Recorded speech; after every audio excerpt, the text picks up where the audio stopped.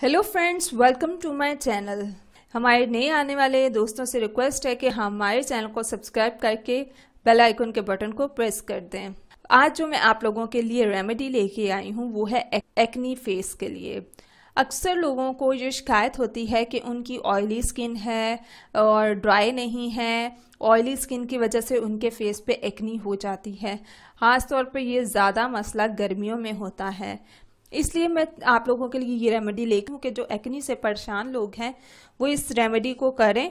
आपने क्या करना है? आप ये भी कर सकते हैं रात को सोने से पहले डायरेक्टली अपने फेस पे लेमन जो है वो लगा लें। उससे भी आपको फ़ायदा हो सकता है और, और दूसरा हल इसका ये है कि अगर आपके फेस पे कोई भी एक्नी हुई है तो आप जो टूथपेस्ट होती है, जो हम जिससे ब्रश करते हैं, कोई भी पेस्ट लेकिन मैं रिकमेंड करूँगी कि आप वाइट पेस्ट जो होती है कोलगेट ले लें, कोई भी ले लें, लेकिन वाइट जो होती है, वो आप अपने पिंपल्स पे लगा दें। सुबह उठ के वॉश कर लें, इंशाल्लाह बहुत फ़र्क पड़ेगा।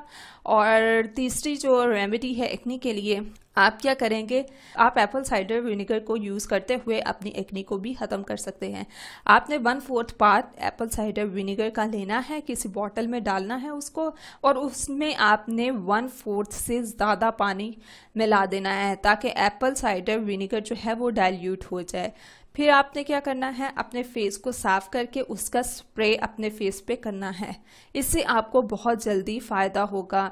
एप्पल साइडर विनेगर में बेसिक एसिडिक प्रॉपर्टीज़ होती हैं, जो आपकी एक्नी को रोकता है।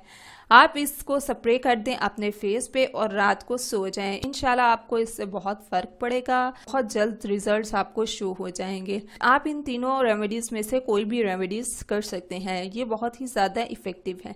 मजीद वीडियोस के लिए हमारे चैनल को सब्सक्राइब करके बेल आइकॉन के बटन को प्रेस करना ना भूलें।